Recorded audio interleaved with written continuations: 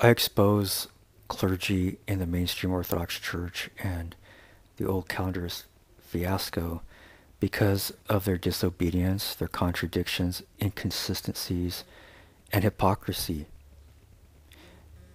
If clergy would decide once and for all to actually cut off their own wills and to be orthodox and to be obedient, there would be no ecumenism in the Orthodox world today. There'd be no modernism. We wouldn't be seeing clergy wearing Roman Catholic collars, having short hair, and secular names.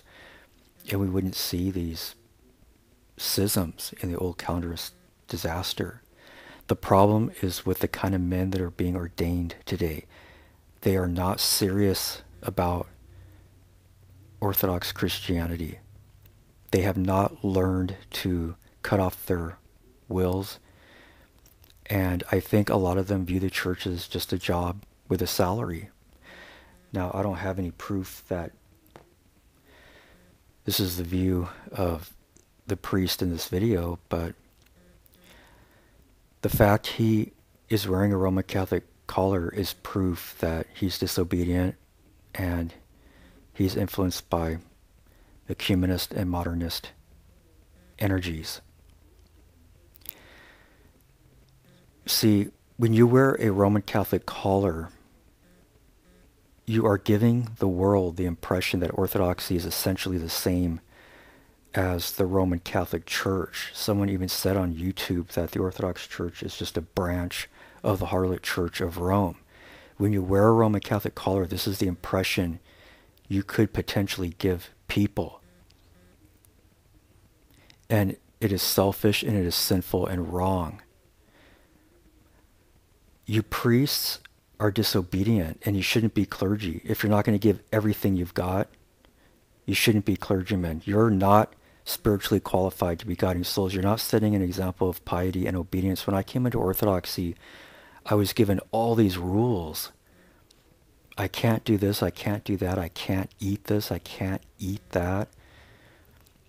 And then I look at the Orthodox world on the internet and see so much disobedience and hypocrisy. When I came into Orthodoxy, it was because I wanted to be Orthodox.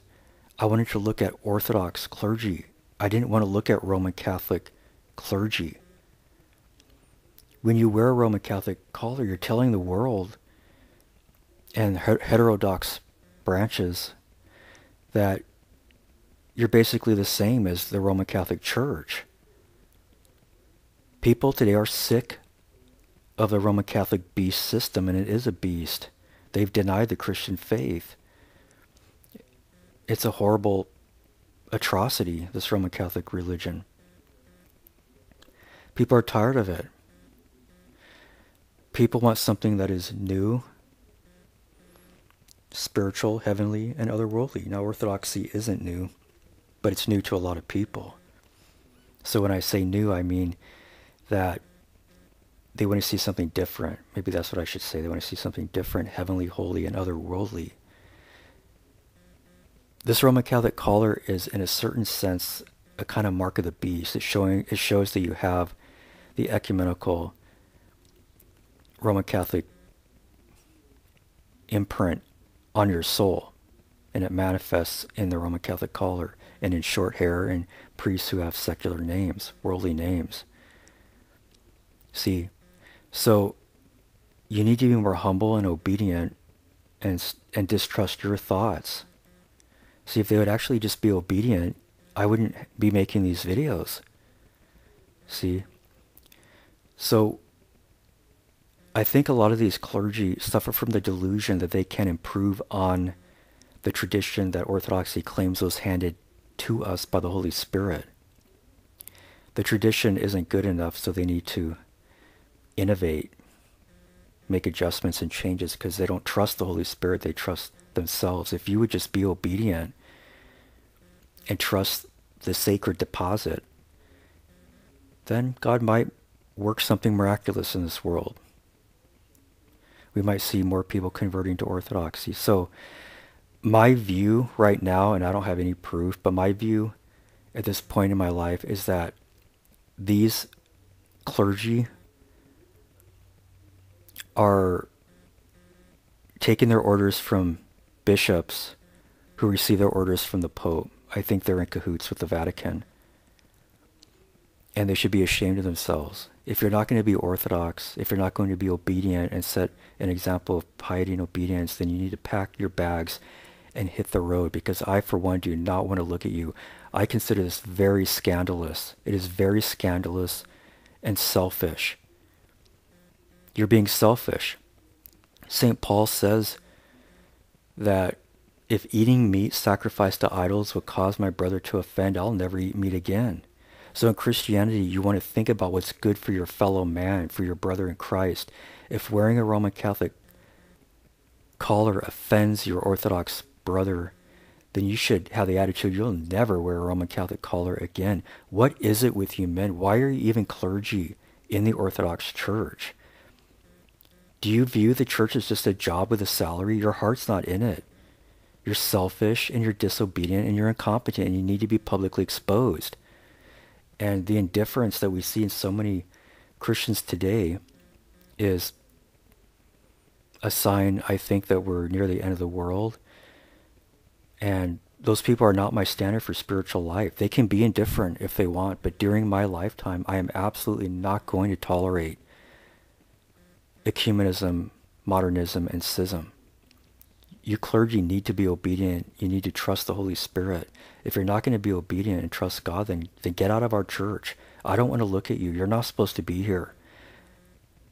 How did you get in? See, I think a lot of men are ordained today just because they have a degree in theology, but that doesn't mean they're spiritually competent. It doesn't mean they're going to be obedient. See? So take your Roman Catholic collar off. I do not want to look at it. I didn't come into the Orthodox Church to look at Roman Catholic church, clergy. This is offensive. Actually, I have a few more thoughts to share. I think the agenda behind this modernism is to desensitize Orthodox Christians to heretical and Roman Catholic innovations. They're doing it little by little, desensitizing people to it.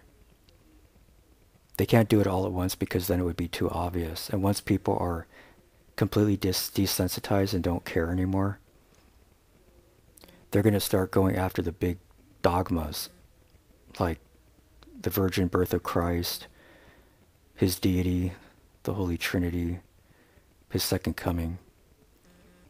But they have to get you used to it, the idea that it's okay to innovate and attack the church and faith. Aristotle said the least initial deviation from the truth is multiplied later a thousandfold, end quote. And he's right. This may seem small and insignificant to a lot of indifferent Christians today, but it's actually a manifestation of the agenda and it is very serious. It is very serious. And Orthodox Christians need to rise and reclaim the Orthodox Church and take it out of the hands of these incompetent wolves who I believe are taking advantage of your indifference. And now I'll conclude the video.